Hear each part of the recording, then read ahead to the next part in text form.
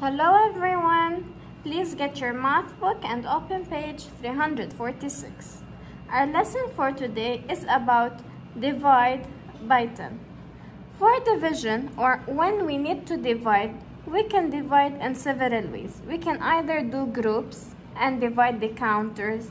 We can either use the number line or the repeated subtraction. Let's start with number one. 90 divide 10. Where is 90? Here is 90.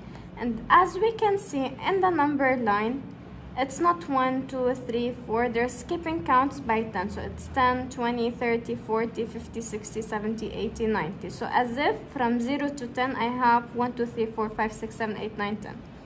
And from 10 to 20, I have 11, 12, 13, 14, 15, 16, 17, 18, 19, 20. And so on. So I have 90, I'm gonna go to 90. I need to divide by 10, so I need to move 10 steps backwards. 10 steps backwards. I didn't move 10 steps like this because from 90 to 80 we already have 10 steps here. This is 1.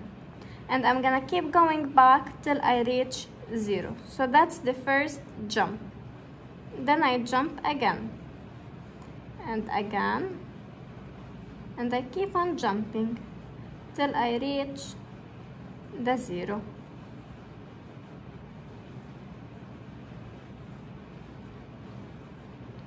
Then I'm gonna count how many jumps do I have.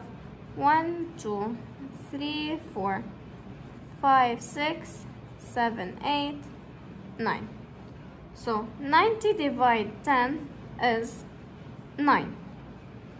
40 divide 10 the number line over here is also skipped counts by 10.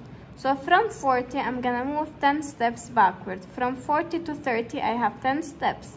From 30 to 20, I have 10 steps. From 20 to 10, I have 10 steps, and so on. From 40, I'm gonna jump to 30. And from 30, I'm gonna jump to 20. From 20, I'll jump to 10 and from 10 I'll jump to 0 I have to reach the 0 how many jumps did I make? 1 2 3 4 jumps. So 10 40 divide 10 is 4 that's for the number line. Let's go to the repeated subtraction which I really prefer is to use repeated subtraction. 60 divide 10 is like 60 minus 10 which is equal to 50 50 will go up 50 minus 10, 40. 40 is up. 40 minus 10, 30. Then 30 minus 10, 20. 20 minus 10 is 10. Then 10 minus 10 is 0. Did I reach 0? Yes, so I stop. Then I count how many subtractions do I have? 1, 2, 3, 4, 5, 6. So 60 divide 10 is 6.